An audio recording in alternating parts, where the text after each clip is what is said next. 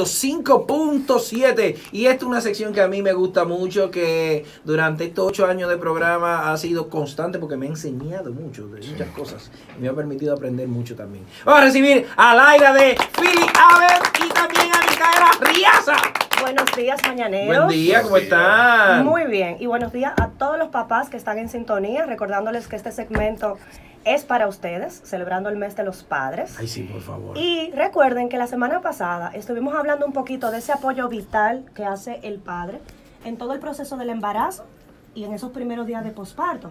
Entonces, en esta ocasión, que Mica me acompaña, vamos a adentrarnos un poquito más en lo que son los primeros meses del bebé. Y hay un tema que preocupa mucho y que a los papás lo vuelven un poquito loco y es el llanto del bebé. A veces no entienden por qué los bebés lloran y hay una corriente antigua de que al bebé hay que dejarlo llorar. ¿Te acuerdas que en el taller Sí, hablamos sí, de eso? Desarrolla los pulmones. Exacto, pero realmente... Eso es un mito. Es un mito. y por eso yo traje al especialista para que nos aclare qué tan es recomendable es dejar a los bebés llorar, porque funciona. Al otro día el bebé lloró tanto que se va a calmar. pero yo quiero que Mica nos aclare si Hola, eso es algo... sonríe. Si eso es algo recomendable y si no lo es, ¿por qué?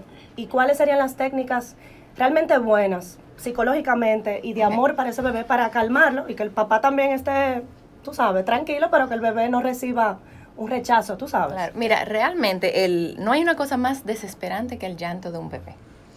Y está diseñado así porque es un alarma, es, o sea, nos físicamente nos acelera el, ritmo cardíaco, la respiración, nos, sube la temperatura y lo viví en carne propia el otro día, porque tengo mis sobrinos quedándose conmigo que tienen cinco meses.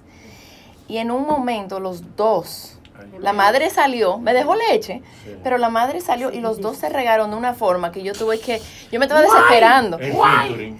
Sí. En featuring. Fue una cosa. Ella featuring él y él featuring ella. No, y era en estéreo, eran los dos. Y yo, ay, Dios mío. Hasta que yo me di cuenta que, espérate, me estoy desesperando. Y tú eres la experta. Y yo se le... Entonces, dije, mira, agarré uno, le dije, espérate, cálmate, explótate ahí, voy a calentarte la leche.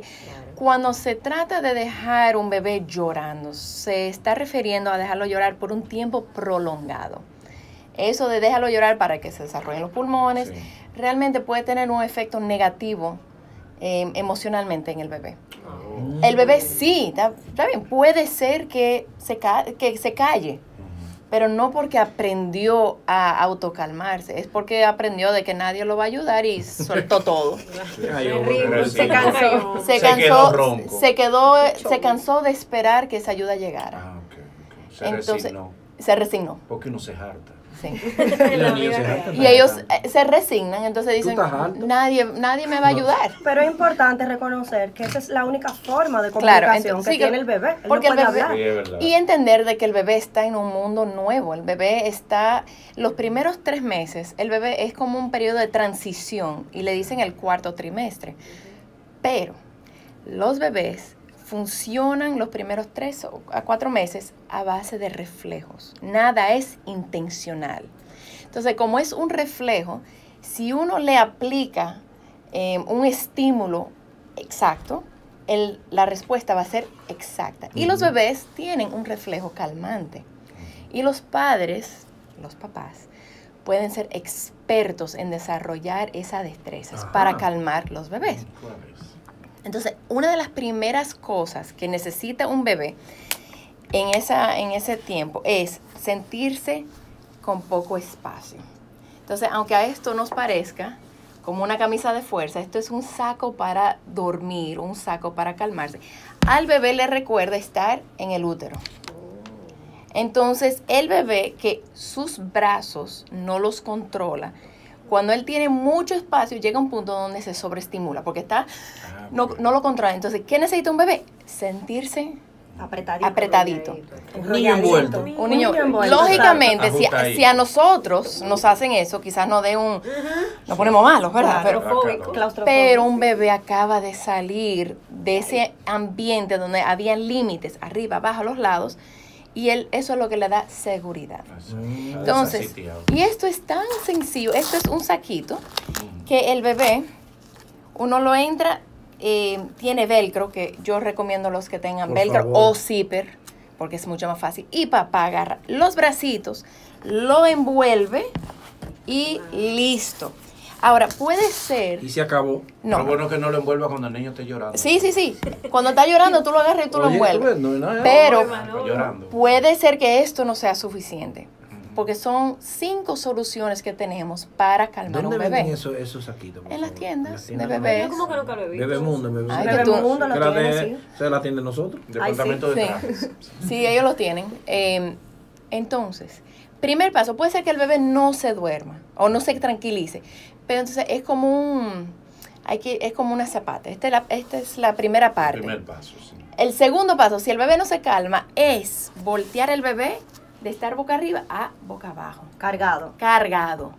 Esto es como un, un breaker, o esto es un switch, o sea, el bebé está llorando y de repente y se calma. Oh. Pero lo, voy a- lo voy a probar. Pero con delicadeza, por favor. No, no, no, los Porque pa- de pronto el desespero de la madre puede No, crear. no, no alguna necesita acción. la delicadeza, porque los padres tienen otro como más las madres los ma- papás. y las madres pueden tener un poco quizás no lo apliquen bien las eh, las La eh, técnica. la técnica. Porque si no se aplica bien, si el bebé quedó como medio De ladito, puede ser que no apague el llanto, puede ser que no se active el reflejo. Que no se mutee. sí. Entonces, hay que voltearlo Sí, Completo. completo. Entonces los padres tienen más fuerza en, las- en los brazos, entonces el bebé puede ir a lo largo del brazo del papá y boca abajo. Tercera cosa, los bebés en la barriga estaban en movimiento constante.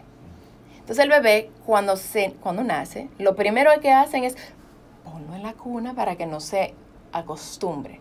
Pero es una estupidez, porque a que se acostumbre a que a no moverse, pero tiene nueve meses moviéndose. El bebé ya está acostumbrado A moverse. a moverse. Pero hay poco espacio, él se mueve poco, porque no tiene mucho. No, no, no, es que él esté en movimiento. Ah, Con la madre. Con la en la madre. barriga, Ah, Entonces se está es, moviendo es un movimiento. Sí, se llama movimiento vestibular. Es el movimiento que la madre camina adelante y atrás. Se voltea y sube y baja. Entonces el bebé no está acostumbrado Está a no estar claro. en movimiento. Y las madres que están embarazadas lo saben porque cuando se acuestan en la noche, ahí Ahí que empieza que el mambo. Ahí Porque no hay movimiento.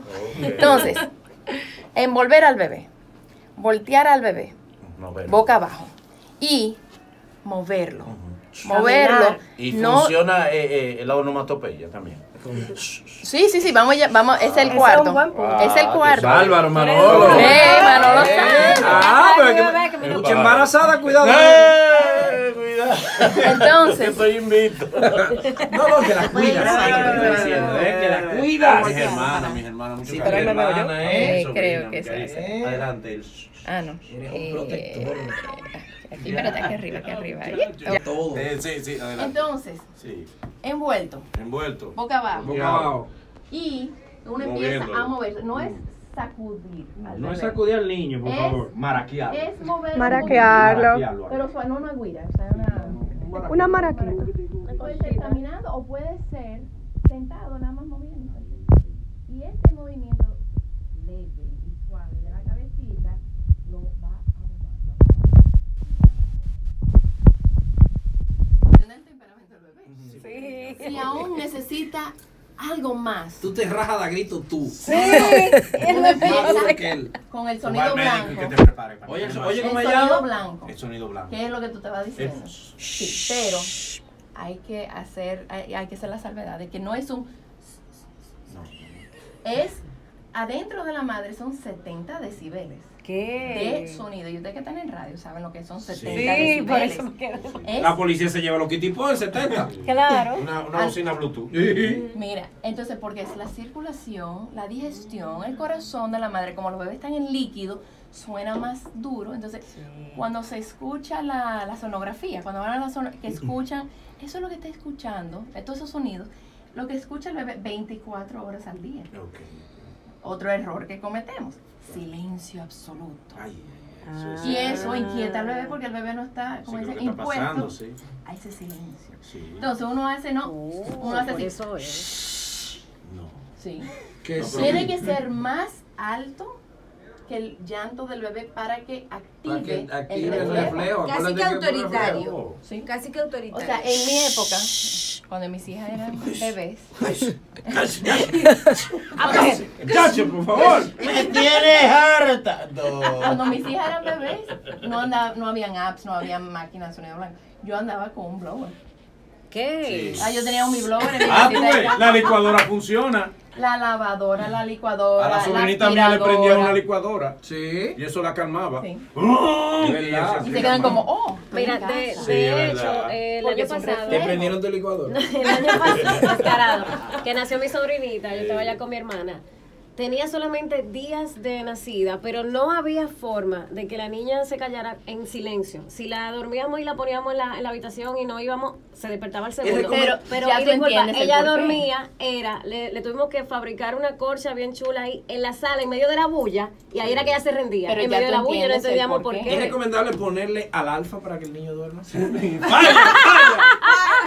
¡Falla! Que la calle mata Juego, huevo. Falla, falla. Mira, pregunta por aquí. Eh, Rumi, Ruminit. ¿Se le puede poner el bobo? ¿Cómo? ¿El bobo para que Y el bobo es la quinta solución. El chupete. Los bebés, El chupete. el chupete, conocido como el bobo. Entonces, ¿qué pasa? El bebé adentro de la barriga succionaba, succionaba, porque es un reflejo. No se queda. Entonces, si el bobo, si el bebé con estar envuelto, voltearlo, sonido, Mm. no se queda tranquilo, entonces lo último es ponerle el bobito. Papá. Porque si es, mam, si es la madre, ella le pone el La- seno. el seno. Pero si es papá, Sí. el bobito, entonces, ¿cómo usar el bobo correctamente? Se introduce el bobo y entonces tú empiezas a como tumbarlo. No a empujarlo hacia adentro, sino a tumbarlo. Y eso le enseña al bebé cómo succionarlo más fuerte para que no... Oh. Es al revés de lo que la gente piensa. Sí. Entonces, Wow. el bebé se calmó. Le retiras el bobo. Ah, Me gustó cómo tú acabas de poner el niño. ¿Tú podías expli- explicar, eh, eh, o sea, el muñeco, Ajá. por qué tú lo pones así de frente? Ah, también eso lo calma. Estarlo, ponerlo de frente porque se están viendo... Ah, el Ah, panorama. porque ¿Sabes siempre lo que decían que contrario, que ponerlo en el regazo. en el regazo, No. Yo veo que tú, lo, que tú lo pones de frente. Ujú. Pero hay que aguantarle la, la, La cabe- cabecita. cabecita. Sí, Para que él se sienta que va en primera clase. Vamos a tomar tres llamadas, tres llamadas para Baby Time RD. Búsquenla en Instagram, por favor. Baby Time RD. Mm. Y tenemos un último, una última herra- herramienta que se llama el amanzaguapo. La masa guapo. Ok. Manolo. Que tú lo conociste el otro Sí, día. lo conocí. El amanzaguapo es como un todo en uno. Entonces, esto es, vamos a quitarle esto. Y los bebés pueden dormir con esto puesto. Ay, qué rico. Para-. Boca arriba en ese caso. Siempre el bebé debe de dormir boca, Boca arriba. arriba. Ok. Siempre. Wow. Eso reduce el síndrome de muerte súbita. Dios mío. Entonces, Sí, verdad, eso yo lo tengo. el amanzaguapo lo tengo en mi bolsillo. Oh. Yo saco mi amanzaguapo. Sí. ¿Y qué hace eso? ¿Qué hace la masa guapo?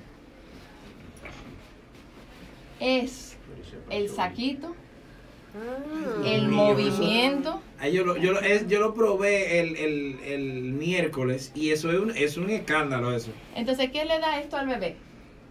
Poco espacio, o sea, se siente contenido, está con mamá o con papá.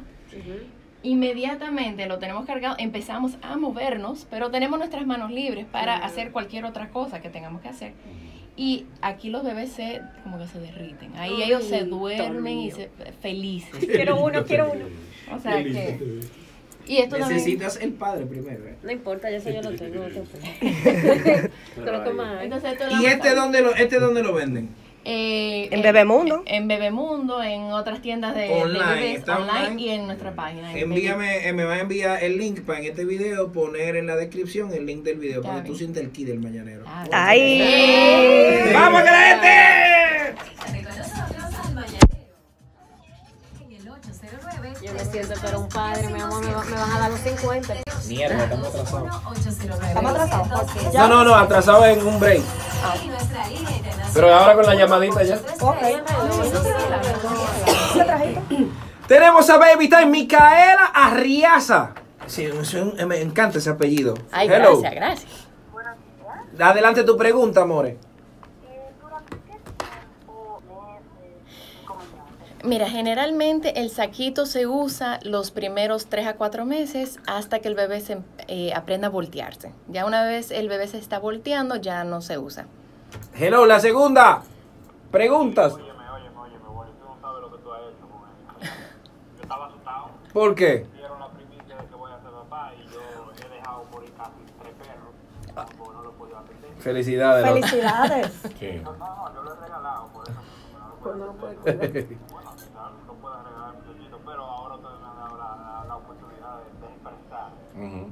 Dígame, ¿cuáles son las pautas para los nuevos padres? Los que no saben ni siquiera atender un chivo. ¿Qué hacemos? ¿No estamos volviendo locos? Bueno, eh, Filiaven tiene un programa constante de capacitación. Talleres y programas. Para nuevos padres. Te sugiero que te unas a nuestras redes sociales, eh, que por ahí te vas a enterar de todos los talleres educativos que hacemos gratuitos en diferentes puntos del país y con especialistas eh, avalados. O sea que la primera parte es educarte y tener la intención. Y también lo tenemos online. y también online. Sí. O sea que- Para los padres que viven en el interior o no pueden llegar o, o se le pasó el día, Ah, lo perfecto. pueden ver. porque En la última foto que yo subí, que es de, de, de, de Baby Time, está el Instagram de Filiaven. Dale a seguir ahí para que te enteres de todas las cosas.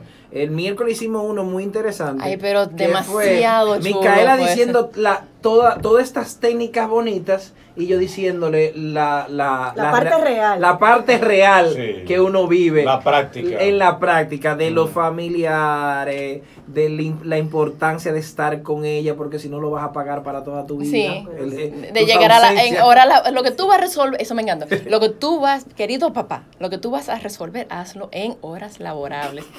Y que no importa, si tú llegas le molesta, si tú no llegas le molesta, lo que tú te pongas. Pero llega, llega, pero llega. Aunque le moleste, Aunque llega. la moleste llega. ¡Hello, última! Nunca llegas. Muy buenos días. Dale, hermano. Antes que todo, quiero felicitarlos por el excelente programa que tienen. Gracias. Gracias, gracias. También quiero que me den una descripción gráfica de la manta guapo, porque en mi mente yo me quedé como que iba a sacar un bate de eso de. Mira, el, el amanzaguapo es una tela, se llama un fular o en inglés un sling, que uno se... es un porta bebé, pero es un porta bebé suave, que el- permite que el bebé tome su posición Y natural. que te cabe en un bolsillo. No es una mochila, porque pues, re- esto te cabe en un Es bolsillo. como, los disculpa, es como los canguros. Exacto, bueno. Como cuando la madre le mete al bebé, Exacto. le llaman, en otros países le llaman canguro, exacto. Exacto. Un canguro porque es como eso, esa bolsa que Exacto. cubre al bebé. donde el bebé, donde le permite un espacio seguro al bebé esa, ese momento de transición. Y esto se usa hasta que ya, desde que nace el bebé hasta que ya no cargues más a tu hijo. A ese papá que llamó, es bueno que vea el, el programa por YouTube para que luego para pueda que ver gráficamente el, el amanzaguapo Claro. y sepa de qué estamos hablando. ¿Cómo nos comunicamos con ustedes? O sea, contigo, Baby Time. ¿Dónde la gente puede tener más información contigo? En nuestras redes y también el teléfono es 809 902-0010. Esa es la flota y nos pueden escribir por WhatsApp y siempre contestamos. Laira. En nuestro caso, bueno, síganos por las redes Philip Saben RD y quiero recordarles que los productos, toda la línea, están disponibles en las principales tiendas, farmacias y supermercados del país. Philip Saben está en, en todas las principales tiendas y algo que quizás muchos no saben es que el distribuidor de la marca en el país, AG Mercantil, también tiene una tienda online donde ustedes pueden entrar, Cierto. ver los productos, comprar y hacemos envíos también a, a todo el país, que es agmercantil.com. Y también que sepan que no van a malcriar un bebé por cargarlo. Ay, eso es una cosa que la gente Sí. habla mucho. mito. Es un Mito. Que no lo cargue. No lo cargue porque se va a mal acostumbrar. Cárgate, muchacho. Déjalo ahí. El- los primeros meses es vital responderle al llanto del bebé y cargarlo porque caso. eso es lo que están invirtiendo en el futuro, que ese niño sea autosuficiente, con est- autoestima alto, o sea, que, que sea seguro e Tú cargas las independiente. Claro. Tú cargas las madres. Lo tuyo cargar las madres.